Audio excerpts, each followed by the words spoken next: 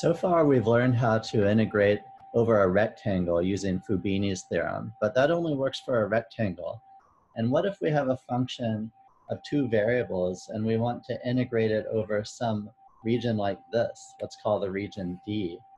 And it's not a rectangle, what can we do? How can we evaluate this integral? We wanna do the integral over D of f of x, y, dA. How can we compute this? So the trick is to just draw a rectangle that contains D. So we'll draw, draw a rectangle that looks like this. Let's call this rectangle R. And let's define a new function, capital F of xy, that's defined to be lowercase f of xy if the point xy belongs to D. So if we're looking at a point that belongs to the region D, then capital F is equal to lowercase f. But if we're looking at some point that does not belong to D, then capital F is just equal to zero. So in other words, we just extend, we take lowercase f and we extend it to all of this rectangle R just by defining it to be zero outside of this region D. And notice the integral over d of lowercase f of xy is equal to the integral over r of capital F of xy. Why are these integrals equal? Well, the part there in this integral over here, there's no contribution coming from this background region that does not belong to D because capital F is zero everywhere in the background region. So there's no contribution. So these two integrals are the same. This is, that's the trick that's going to allow us to use Fubini's theorem even when we're integrating over a non-rectangular region. Just extend our function f so that we are integrating over a rectangle. Now, uh, often we're working over, often we're integrating over a region which is what's called a type one region. And what that means is it's the region in a plane that falls between the graph of a function g1 and also the graph of a function g2. So it looks like this. Here's the graph, here's A, here's B, here's the graph of a function g1 and here's a vertical line, and here's the graph of a function g2. Here's a vertical line. Sometimes, often, the region we want to integrate over looks like this. This is called a type 1 region.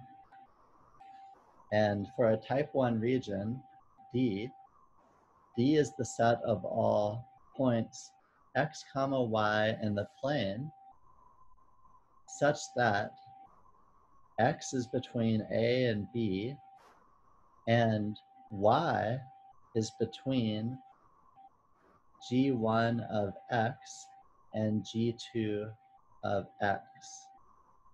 This is a type 1 region right here. Okay, now uh, let's say we want to do an integral, compute the integral over d of a function lowercase f of xy dA. Let's say we want to compute this integral. So what we're going to do is we're going to imagine, we're going to draw a rectangle which contains d we're going to draw a larger rectangle which contains D. And here it is. Let's say here this value of y is C, and up here this value of y is D. Do you see this larger rectangle here that contains D? And we're going to extend F. We're going to extend F to be zero outside of D. So the integral of f over our type 1 region D is equal to the integral over r of capital F of xy dA, where capital, where r is this larger rectangle that we drew up here, this larger rectangle. That's what r is. Okay, now this integral is equal to this integral, but in this integral, we are integrating over a rectangle, so we can use Fubini's theorem.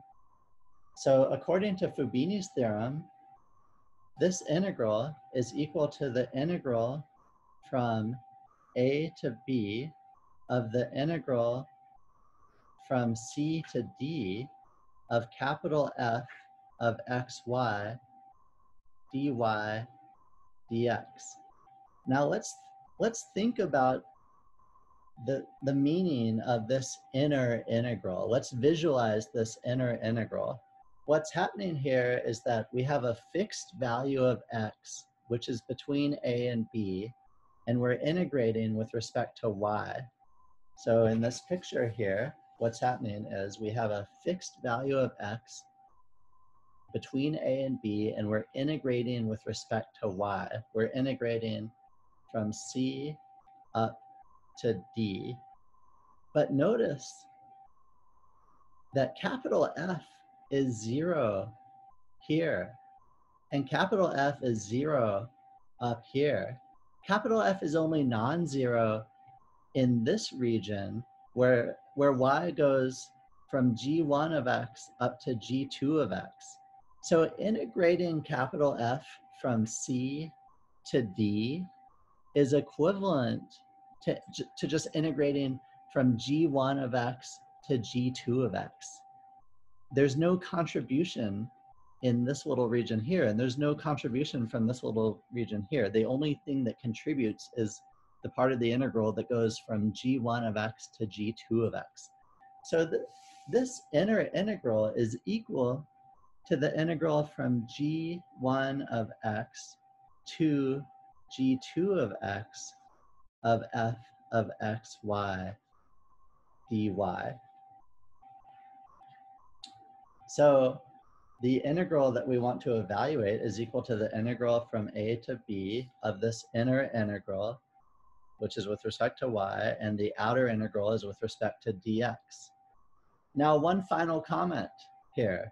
Capital F, as long as we're, as long as y is restricted to be between g1 of x and g2 of x, in this range of y values here, capital F is equal to lowercase f. So this integral is equal to the integral from a to b of the integral from g1 of x to g2 of x of lowercase f of xy dy dx. And this is a formula that we can use to evaluate integrals when we're integrating over a region of type 1. This, come, this is material from section 15.2 of Stewart. You can find this formula in section 15.2. This is how we integra integrate a function of two variables over a type 1 region. Okay, the next thing to discuss is what if we have, there's another type of region which is called a type 2 region. A type 2 region is a region that looks like this. We have a horizontal line here. We have a horizontal line here. Here we have a curve that looks like this, and the equation for this curve is x equals h1 of y. And here we have a curve that looks something like this. The equation for this curve is x equals h2 of y. So for any fixed value of y, the, the starting value of x is h1 of y, and the stopping value of x is h2 of y. So how, how can we evaluate the integral over, let's say this type 2 region is called D. How can we evaluate the integral over D of f of xy dA? What do we do? Well, again, the trick is to draw a larger rectangle which contains the region D. So let's draw a rectangle that looks like this. We're drawing a rectangle that looks like this. This is a larger rectangle that contains my region D. Let's call this rectangle R. And let's say that the, the value of y here, let's say it's C, and the value of y here is D. So, and again, let's introduce our function capital F by extending the value of F to be zero outside of D. So the integral of lowercase f over the region D is equal to the integral of capital F over the region R. And now since we're integrating over a rectangle, we can use Fubini's theorem. And according to Fubini's theorem, let me, let me label this starting value of x. This value of x is gonna be, I'm gonna call it A.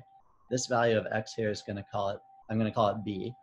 According to Fubini's theorem, this integral is equal to the integral from c to d of the integral from a to b of f of x, y, dx, dy. That comes from Fubini's theorem.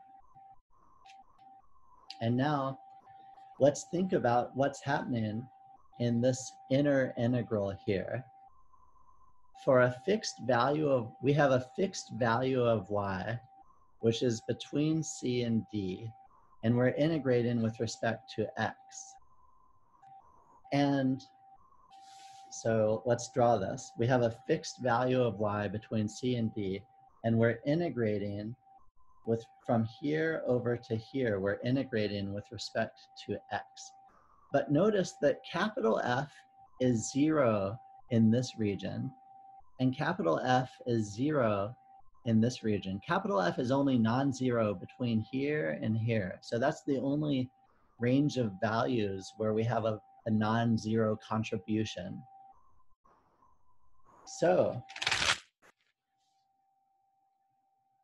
the integral from a to b of f of x, y, dx, our inner integral, is equal to just the integral from, instead, instead of integrating all the way from a to b with respect to x, we may as well start here and we may as well stop here because there's no contribution from this outside region. So we're gonna just start at the starting value of x, which is h1 of y, and we're going to integrate over to the stopping value of x, which is h2 of y. And then capital F of xy dx. That's what our inner integral is equal to. And now one more comment. As long as we are restricting ourselves to this range of values here, capital F is equal to lowercase f in this range. So that means that this is equal to the integral from h1 of y to h2 of y of lowercase f of xy dx. Okay. The inner integral is equal to this. Now, let's return to, this is the, this is where we were, and we just found out that this inner integral is equal to this. So let's, let's put these pieces together. Let's, let's finish this off. What, what we have discovered is that the integral over d of f of xy dA is equal to the integral from c to d and then the inner integral we have discovered is the integral from h1 of y to h2 of y f of xy dx, and the outer integral is with respect to y. So this is our formula that we can use to evaluate the integral of a function of two variables over a type 2 region. This again, this formula can be found in section 15.2 of Stewart.